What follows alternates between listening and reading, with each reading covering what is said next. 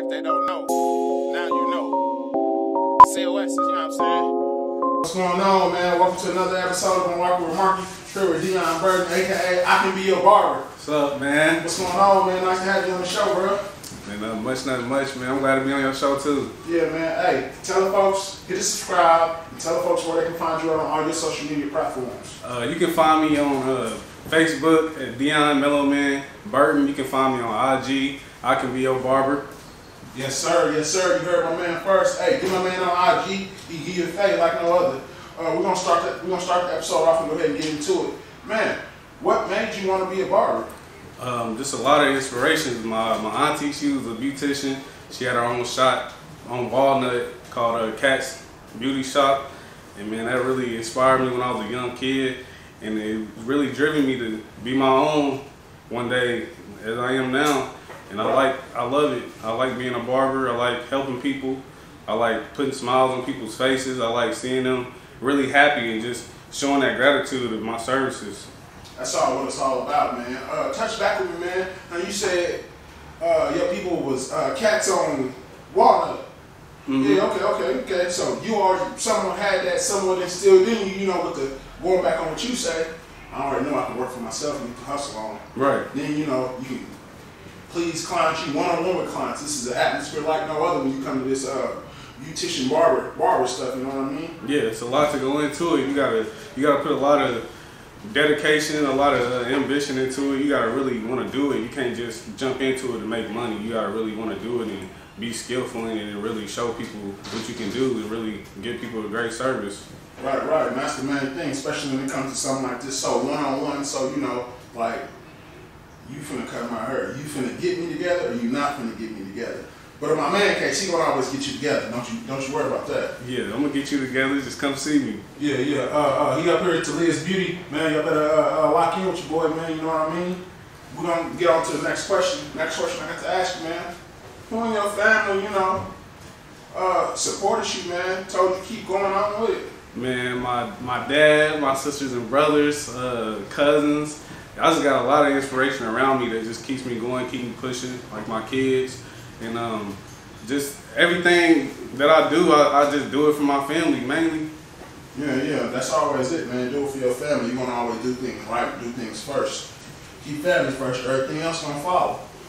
Uh, next question I really want to get into with you after that question, like I said, I just asked you, who you know, who's your biggest influence? Now, what was the person that always told you something positive?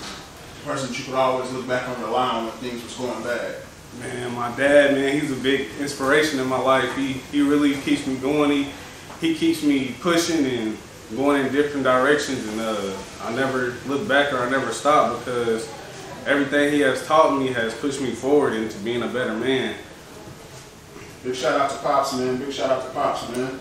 Real, real deal. Uh, next question I see. I see you got that uh, Tupac shirt on, man. So I'm gonna go ahead and get into it, man. Yeah, man, hit him up. Uh, is Biggie or Tupac? Is it, is Biggie or Tupac, man? Man, I like Tupac. All right, Tupac. You, you heard what he said. Hit him up. So he he, he took that all the way there. I like I like Biggie too. I ain't gonna I ain't gonna discriminate on Biggie. I like I like both of them, but at the same time I like the poeticness about Tupac, and I really like the wordplay of Biggie. But if I had to choose one, it'd have to be Tupac. Yeah, that Biggie wordplay is something nice, but that the, the the way Tupac come with the chemistry, the flow, and then like you say, the poetic.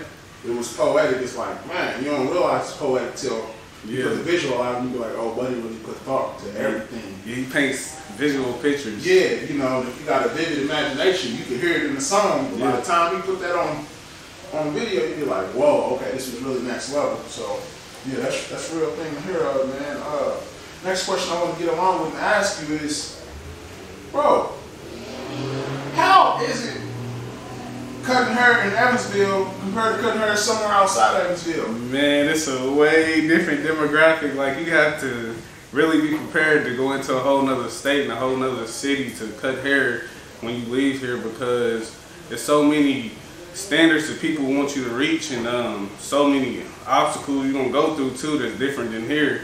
And you really have to like show showcase a lot of things that you probably would normally have to showcase here because it's a bigger city and they want you to be on your your top, like the top, like A A list type. And you gotta keep pushing. You just gotta be better. Like it makes you better altogether. And also, like uh, when you outside outside the city and dealing with demographic, they expect you to be top shelf. If you cut the Chinese dude hair, black hair, white hair, Everybody. Philippine, it don't matter. If he come in the fade him. Yeah, He's, he's supposed to get it. you gotta put in that work. So that's that's another thing, man. Uh, based on that same question, want to get back to you, man. How's the pricing or how's the flow chart between Evansville and somewhere else? Man, the flow chart is crazy. Like it was it since Evansville is a smaller city, it's really lower versus a big city. Big city is higher because they have more people and it just the quality is, is a little higher there too. So that that's what makes the prices a little higher. Right, right. Uh, along with that, man, the quality that makes things higher. Now let's go ahead and get into the nitty gritty.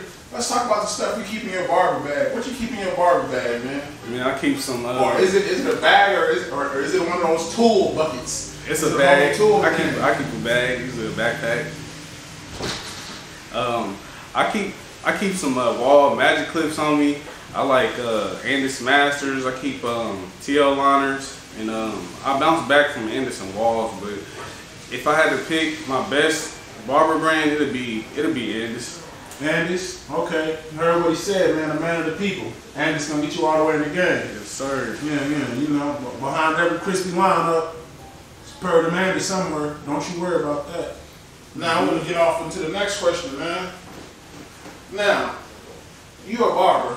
How was COVID for you, man? It's it's we we coming at the tail end of COVID. How was COVID for you? COVID changed a lot for me because I had to learn how to operate in different ways and challenge myself.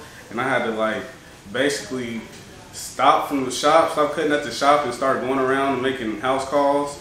And um, just everything that, that COVID has done, like it just changed like a lot for me, and it really has shown me different ideas and how to better my barber career. Right, right. Made you, you know, more diverse with certain things you do and uh, put you on the things that you would normally do. Yes, sir. Uh, so with that, how was the house calls, man? Especially during COVID. Man, they've been pretty good. Yeah. Yeah, I make I make some pretty good money. I can make between like forty five to fifty dollars off a house call. House calls ain't bad. Yeah. House calls ain't bad. Most I ever made was probably about seventy dollars. Hey, that's that's a good day work. Mm-hmm. It's good. It's good work. Good work. Uh, next thing I want to get off into you on the same topic as far as um, house calls and just the uh, COVID stuff. As far as barbering, bruh, was you traveling like outside the city, outside the state? Yeah, I was traveling. I, I went to uh, Atlanta. I went to uh, North Carolina. I went to uh, Cincinnati, Ohio, Columbus, Ohio, uh, California. Okay, you've been a few places, so I want to butt in and get on get on to it. Yeah, y'all been around. You've been in North Carolina, you've been in Atlanta, you've been to a few black hot spots. Yeah.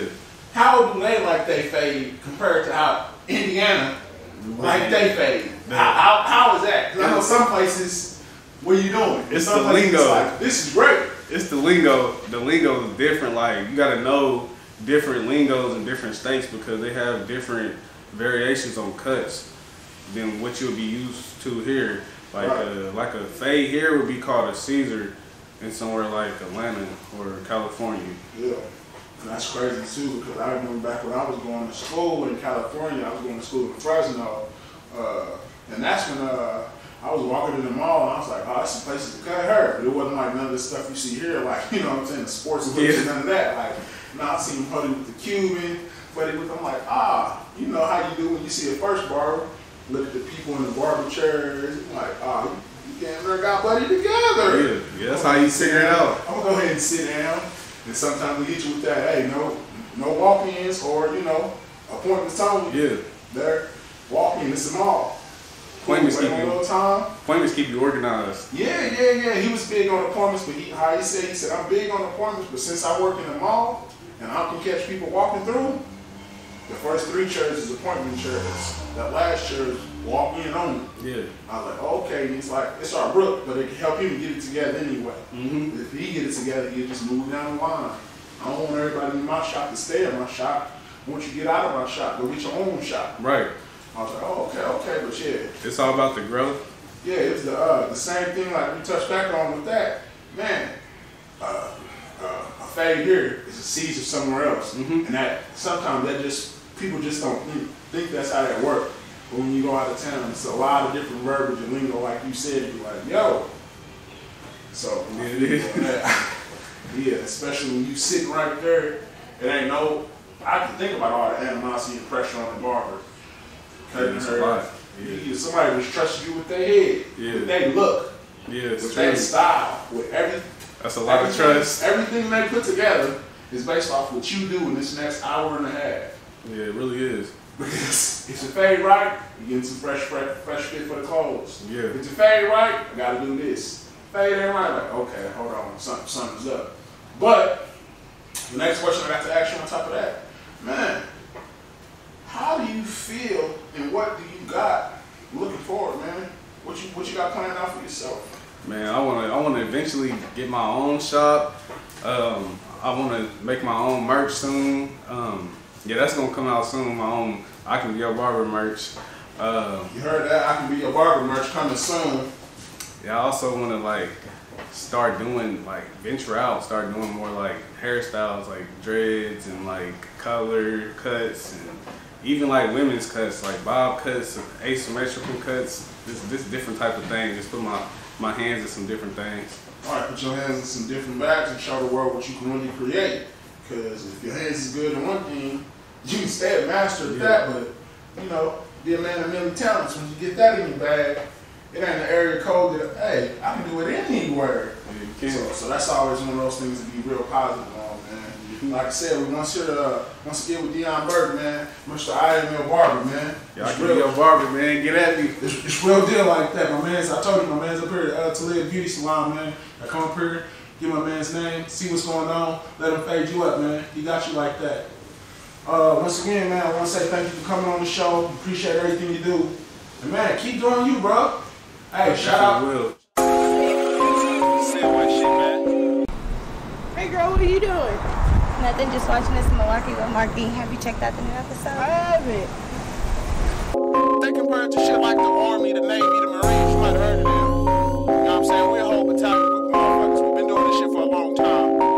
It'd be wild if you wouldn't text none of us, because me and my brethren are what you would call fierce by nature warriors. Hands my Jesus face, chicken shop, get a two